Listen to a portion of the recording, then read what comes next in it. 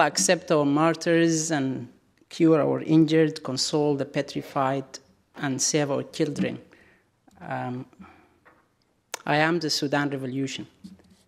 So I'm going to talk to you today about um, two things. I'm going to present my vision for the ICT sector in Sudan, and basically I'll tell you the conclusion now, and then go through a scientific or research methodology of how I reached that conclusion. So um, knowledge is power, but in the ICT sector, value is power. So that's number one. Number two, um, we need a vision to follow. And in this platform, I will call all the ICT professionals to get in touch, collaborate, and work together to form a vision which we all uh, agree on and work together to implement. And that vision is based on values. And in the ICT sector, the value is socioeconomic development. As Professor Busin said, education, the three steps of it, the third step is nurturing, and nurturing is a value. So the, the value, you, you can't reach the, you can't have an embodied vision where everyone follows if, you, if that vision doesn't contribute and doesn't um, reflect your values. So this is my conclusion, sort of, um, from this talk, and I'm going to show you how I reached it. So um, I've been in research for 10 years um, in, the, in the wireless communication area, and I'm now, I'm now back in the industry. So as part of my research, I asked myself the question, how can we improve the ICT status in Sudan? And to know where we are, we need to know where we're heading, we need to know where we are. So I looked at the world countries and I collected uh, this set of data, sorry, um, economic, demographic, so GDP, GNI, demographic age group, percentage of urban population, the means of schooling, development uh, indexes like HDI and um, efficiency measures and global competitiveness index, etc. So I collected this for the whole world countries, 188 country, and some, did some data analysis using machine learning methods. And the idea is to come up with a cluster of similar countries to Sudan in socio-economic development measures. I can't compare Sudan ICT status to the UK because we're totally different. So I have to compare it to a set of countries that share similar economic and social developmental attributes. Um, I came up with a cluster uh, of 18 countries where Sudan sits. Then I went ahead and collected additional 12 commercial, financial, technological indicators for ICT. Um, and I, this is for the tech guys, this is the process. Um, data mining, uh, exploratory data analysis, feature transformation, you need to be um, accurate, you need to do cluster validation, stuff like that. Um, and this is the result. So um, the table shows five measures. Um, smartphone adoption is number one, sorry. Um, so on that measure, we do quite well uh, compared to the average in our cluster. We are around 30% smartphone adoption. Um, there's a measure called um, the data revenue, how much percentage of revenue is coming from data. So we're doing good. So color coding, as you already guessed, green is good, bad is red, and uh, orange is not bad. Um, so we, we're doing well in those two, but we need to ask ourselves the question, are these contributing to socio-economic development of the country? Um, we're doing very bad in the SIM index, which essentially means each person will have 1.58 SIM cards, so they're using two different companies. That effectively means the companies offering are not sufficient. There is no customer experience, there is no quality assurance, there is no service level agreements uh, for those offerings. So if you buy an internet package, there is no, there is no predefined quality of service for you um, and this is an issue. Um, the average revenue per user is, is all right, but it's declining, and due to economic reasons, inflation, etc. Um, there is something called HHI, which is an index of uh, measuring uh, market competitiveness. Uh, the lower the better. So we sit in a highly concentrated market, which means there is no competition. Everyone is holding their quarters and staying, do, uh, so that they're doing fixed, then doing mobile. Everyone is happy. But the, the, conclu- the, the benefits to the people is not there. So um, the, the, regulator role is there to, to encourage competition. Um, a big issue for the telecom sector in Sudan is, is this the uh, average revenue per user, which is, quite, is, is declining. And this is mainly because the regulator, unfortunately, policy is to collect tax from the companies. And that's it, it's a tax collection agency to be frank. And, and there is no socio-economic driven policies from the ICT. And that's what I'm going to talk about next. Um, this is pretty much the previous slide. It just shows there is opportunities in Sudan for uh, innovation because around 40 something percent of the sites are off the grid. So we have opportunities to develop solar power technologies and lead the world in that area if we unite around the vision. Um, the investment in ICT is, is, is quite, um, is quite low, 7%. That's in 2011. But the contribution that measured in 2011 to the economic growth was 1.6%. Um, mobile, people talk about mobile, and some people see that, say that Sudan is doing very well in mobile. We're leading Africa, East Africa, the Horn of East Africa. But the statistics are a bit different. So if you look, you can see that we're doing very well in uh, mobile cellular subscription, the red curve. And, uh, and, but unfortunately, the two, the green and the blue, are the fixed broadband, which is fixed broadband through cable, and uh, fixed landline are dead effectively since 2008. So um, this begs the question, is a mobile-only strategy enough for a country? Where we're effectively running uh, whole country or on mobile networks. And the answer is, it depends. So it if, if you have subscriber mobility, where your, your solutions um, are inclusive. You, you have coverage KPIs, you have accessibility KPIs, you make sure that everyone can access the service no matter where, then maybe. The, the, the only technological solution to this is, to, is what people say 5G is going to be the new thing and it's going to, is, is going to solve all the problems, but even that is debatable. So a mobile only strategy is a delusion. And we're deluded to the fact that we're doing well in ICT because we're doing well in mobile, but the, the matter of the fact is we are focused on one aspect. Uh, and it's, it's, ICT is, now one, it's not a one size fits all. You have to have different modes of connectivity and solutions.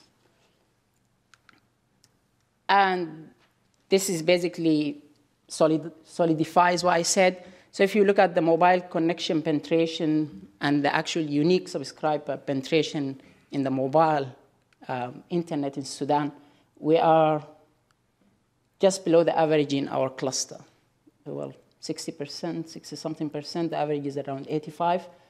And in, if you look at the unique, how much unique sub subscribers are there, we are again below the average. And this is because of that SIM index I showed you earlier. So effectively, the number of subscribers are shown higher than they actually are because it's the same person having two different SIMs. Um, ICT centers and powers in Sudan. Prof. Uh, Sadiq mentioned the African International Center. So I listed all the ICT centers in Sudan, um, and in terms of their power and their contribution to the ICT status is pretty much non-existent. Um, the reason is, we all know, I guess. Um, so if you look at the first eight, NTC, the National Telecommunication Corporation, the regulator, Sudatel, Zain Sudan, Nile Research Center, African International Center, Information Security Center, effectively led by government employees who have no clue why ICT should be there. ICT is there to derive, to be an enabler for socioeconomic development. It's, it's not there as a, as a, as a as uh, selling airwaves to companies so that the, the, regulator can collect taxes. So they totally misunderstand that. Um, MTN and Canar um, can claim that they're led by um, members of the NCC, but uh, there's various attempts to subdue the cable infra- the fiber infrastructure in Sudan. Is of trying to do that, but um, whatever is happening is not is not to support uh, uh, coverage or accessibility to the people. It's there just to collect tax effectively. Um, so my vision, um, I before I say it, I just summarize the good and the bad. So if you look at the good, uh, the ICT sector in Sudan is doing good. Oh, five minutes in, in financial KPIs. Anything finance, we're doing good on. Well, makes sense but we're not doing great on any population coverage stats or mobile uh, uh, KPIs.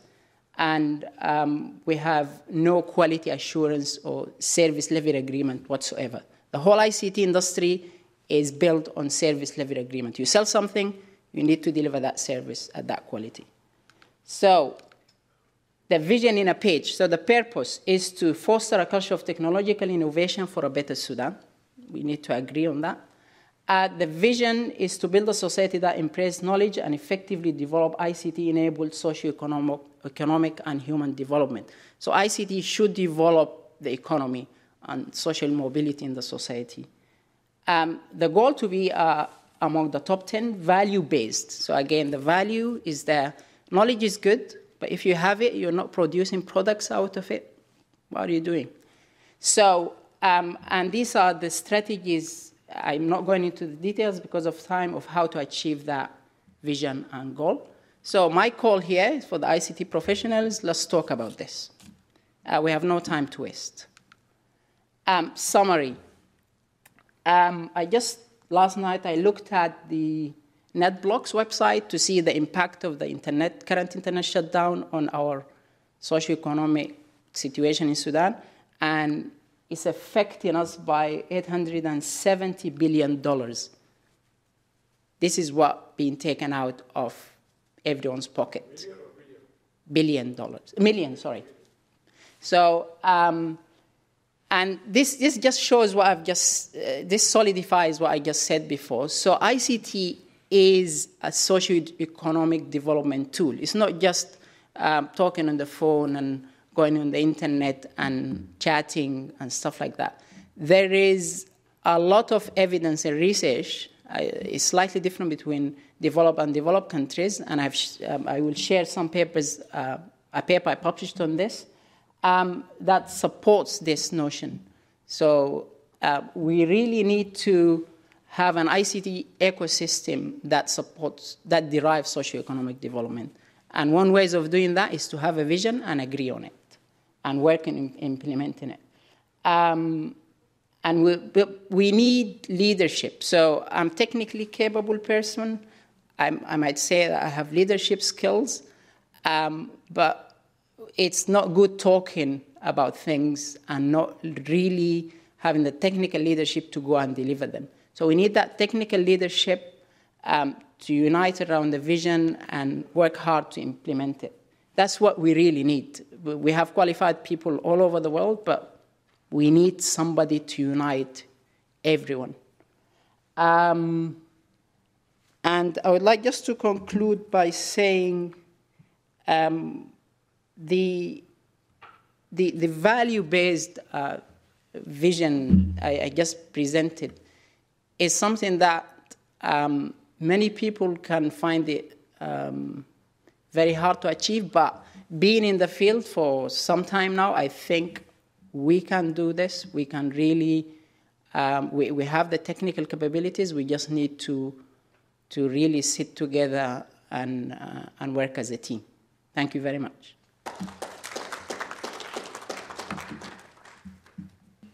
Thank you very much. And yeah, before I, I remember just to share the references.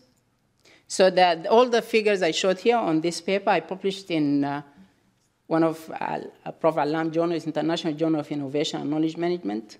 It's basically an ICT benchmark in, in Sudan.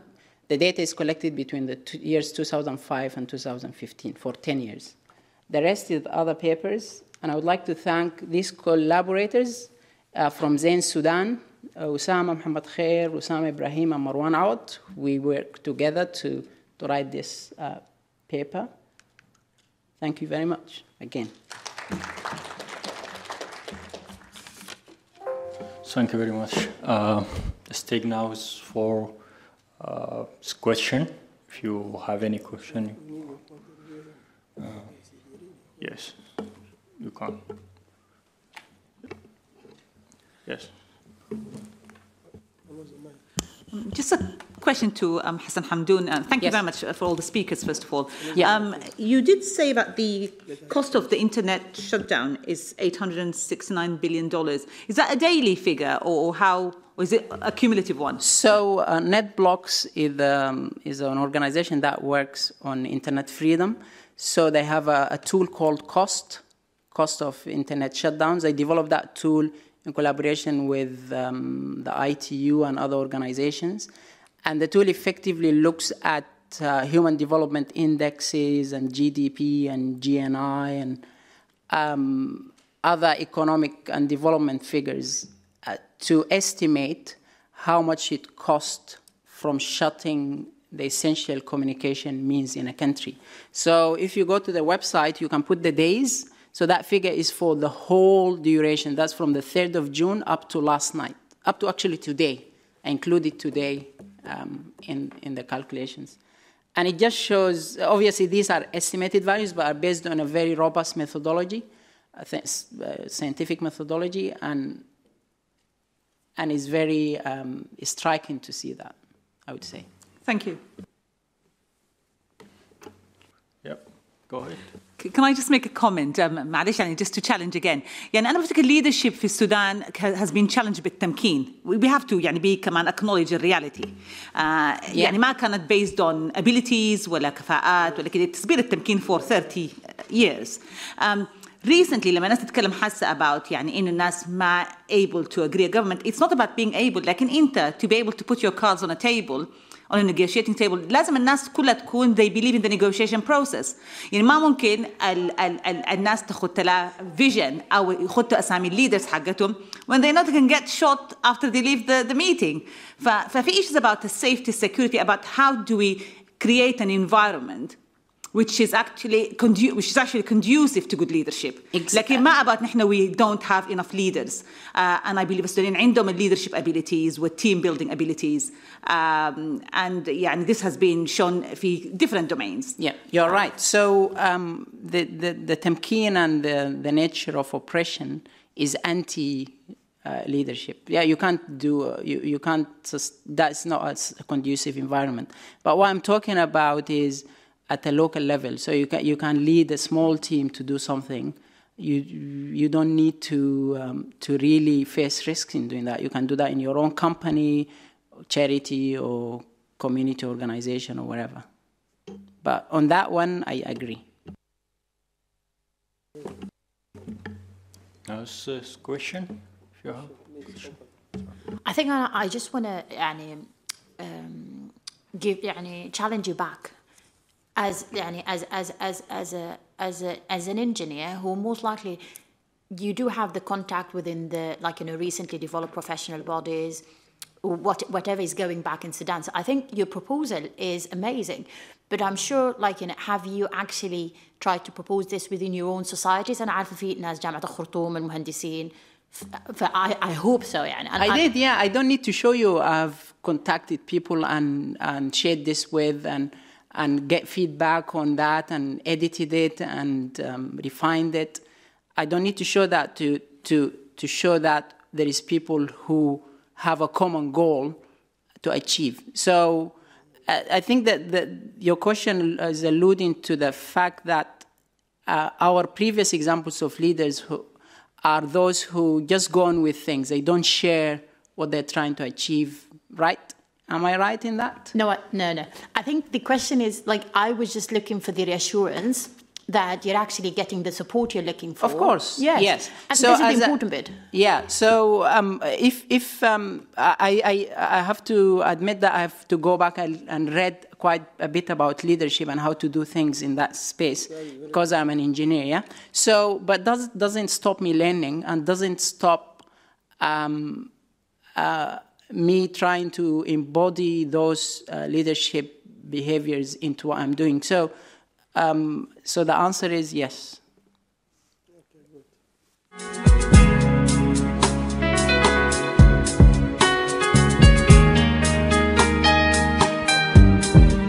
بنحلم بفضاء أوسع بنحلم بزمن أجمل بلاد ميلاد بلاد ميلاد.